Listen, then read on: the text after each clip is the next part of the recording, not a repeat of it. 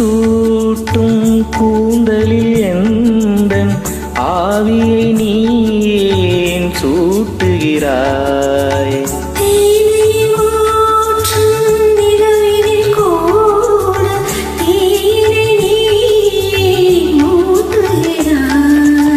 கடற்கரை காற்றே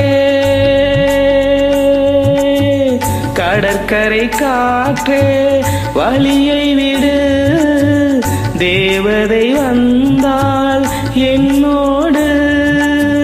மணல்வெளியாகும் இருவரின்